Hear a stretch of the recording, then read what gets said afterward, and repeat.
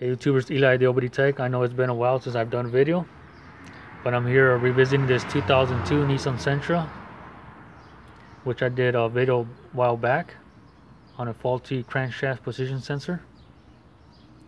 I already hooked up the scan tool, which I'm going to show you guys an image with the code on the upper left corner. It's a P0300 random multiple cylinder misfire. So now the question is, which of the four uh, cylinders are misfiring, if any. So I have already my one channel U-scope hooked up. I'll be using a secondary probe. It's an OTC, which I'll show you in the upper left corner, the part number.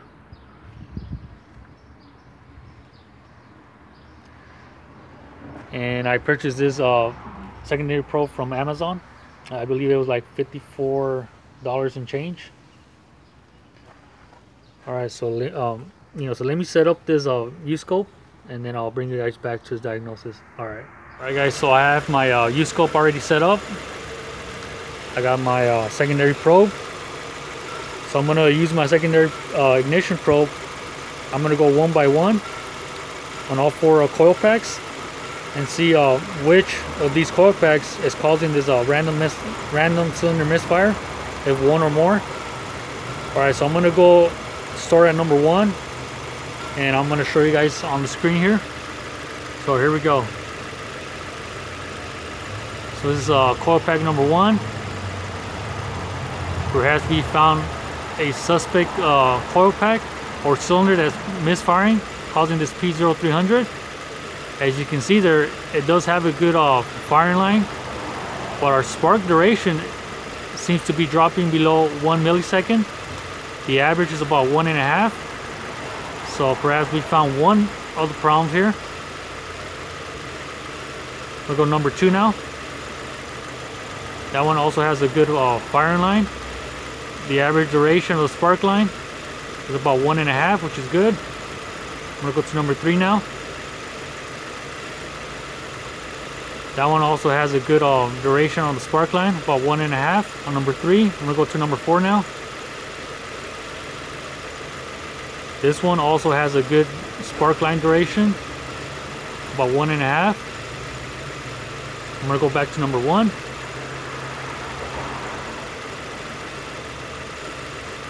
So as you can see there, you see that our spark line keeps dropping below one millisecond which is not good. So our suspect cylinder is number one. Is it the coil pack? Is it spark plug? So, you know, so the next step I'm gonna do for you guys, I'm gonna swap coil pack number one with number four and see if it that uh, waveform falls number one to number four or if uh, the faulty waveform stays at number one cylinder. But one thing that I've noticed so far, guys, is you know just by looking at the coil packs, by doing this visual inspection right now, I see that on coil pack number one seems to be sitting a bit higher than the rest of them. I'm not sure if you guys can see it from the camera, but it seems that this number one coil is sitting slightly higher. Perhaps there's a slight gap. I'm not sure perhaps maybe the spark plug is not fully tight. All right all right guys so like I said I'm gonna go ahead and swap number one with number one with number four coil and see if that waveform falls number one with number four or that faulty waveform stays at number one. All right guys so I'm gonna set up and then show you okay so before I swap these coils number one and four I want to show you guys further evidence that my visual inspection was correct. I'm not sure if the camera is going to pick it up. You know, I'm going to try to zoom in for you guys real quick. But hopefully you guys can see that that there's actually a gap between here, between, let me see if I could show you guys real good. That there's actually a gap between the rubber boot, this little rubber piece on the coil pack and the housing of the uh, coil there's actually a, a gap there So my assumption was correct that the uh, coil pack is sitting slightly higher than the rest of them. Hopefully it's right here. This is a gap. This right here by my fingernail. That's the gap that I, I'm, actually, I'm actually seeing compared to the number four here. There's actually no gap right here and there's a rubber piece of the of the uh, coil pack.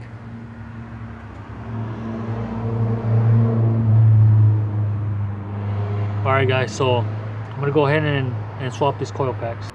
Alright guys, so as I remove uh, coil pack number one and number four, it's pretty much obvious that there is a difference between number one and four. There's actually some damage here on the uh, rubber boot end of the uh, coil pack compared to number four. Seems to be in good condition. So like I said, my assumption was that this coil pack was sitting higher than the other three of the coil packs. So I'm thinking that the uh, spark plug is not fully flushed all the way in, which causes a uh, coil pack or this uh, rubber boot to get crushed. So in other words, uh, hopefully this spark plug is not damaged or perhaps the spark plug thread on the uh, cylinder head is not damaged. Just for the fact that this uh, coil pack was sitting much higher so I guess, uh, like I said, before I even look at the spark plug for any damage or just the condition of the spark plug, number one, I'm gonna go ahead and swap the coil packs, number four, one and four, to see if that waveform follows this uh, coil pack to number four, or if the uh, faulty waveform stays at at the number one cylinder. All right, guys, so I'm gonna set up and show you. Okay, so I swapped the coil packs. I got the number one to number four and number four to number one, and see the difference there's actually that gap that I was talking about as I push down I can't go no further so I'm thinking that the problem is it is a spark plug that's probably sitting too high it's not fully seated all the way into the cylinder head and and look at the difference between the number four here. Okay so this is a damaged boot right here. I'm gonna stick it back in there and it's flushed. There's no gap. All right so I'm gonna leave this this like this. I'm gonna just uh put the bolt back but I'm not gonna really make it too tight. Just hand tie right there. And I'm gonna you know show you guys the waveform to see if that problem still stays at number one. All right. All right guys so I'm gonna show you guys the difference between the cylinders now is I swapped number one with number four and four to one. So I'm gonna probe number one now. We see that our firing line is good.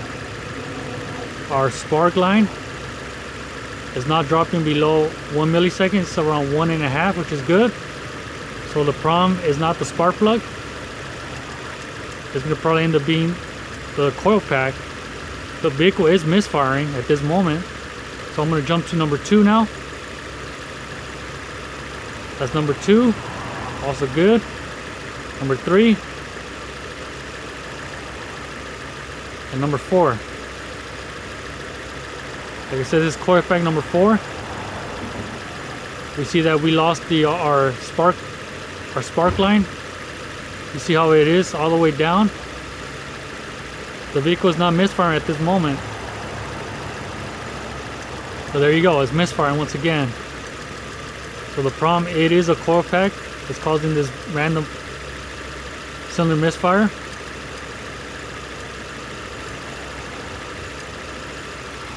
said, I'm, I'm back probing that uh, number four, which is that faulty coil pack.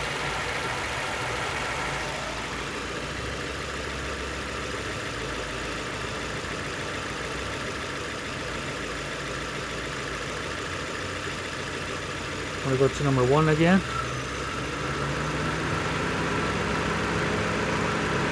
See, so number one is not is no longer misfiring.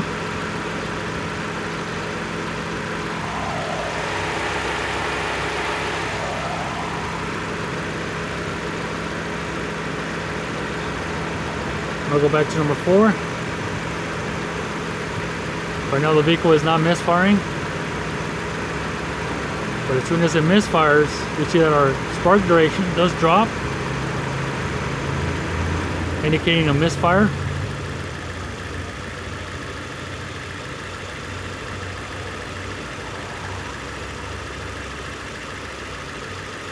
So right now it's running like a normal vehicle with no misfires.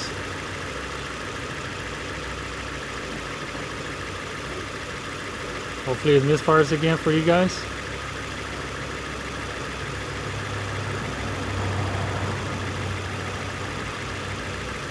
But I'm still gonna go and check that all, uh, all four spark plugs to see the condition of them. And also verify what's causing that number one spark plug not to go all the way down flush to the cylinder head. Which to me, it caused this coil pack to go bad since it since it was perhaps crushed due to the fact that it was not sitting properly flush. So for the vehicle's not misfiring. Okay, right there, you know, there was a misfire there.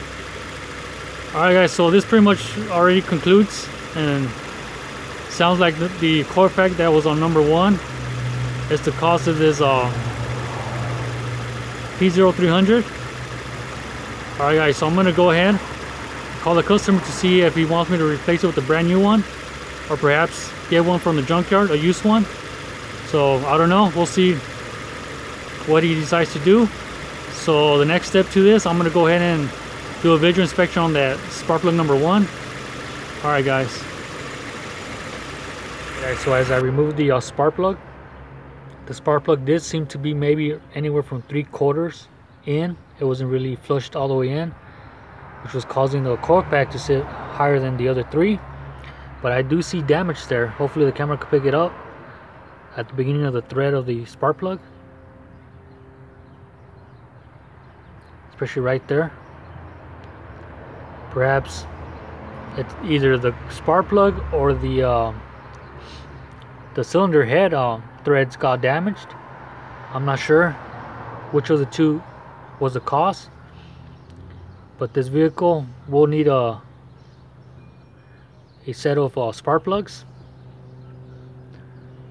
And I will use a uh, a spark plug thread chaser with some uh, anti-seize to see if I could fix this uh, problem here. Alright, so I'll bring you guys back as soon as the customer decides, you know, what to do with the coil pack. Alright. Alright guys, so the customer decided to replace it with the used one from the junkyard, so I went ahead and got one for him. The vehicle's acting much better. I don't feel no more misfires on that number, cylinder number one, in which we had a faulty coil, which was this one over here. I also went ahead and replaced the spark plug for him. I got some NGK iridium. So I'm gonna go ahead and use my secondary ignition probe and go one by one again and show you guys that this vehicle is no longer misfiring. So this is cylinder number one.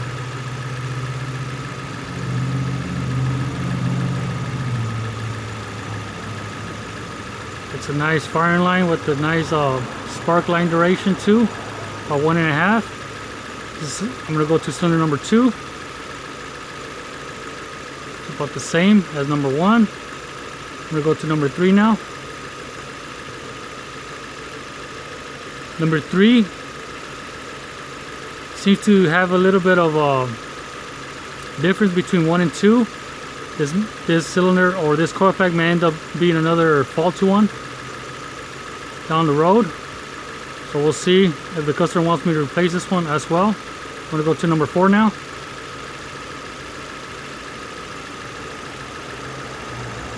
There you go.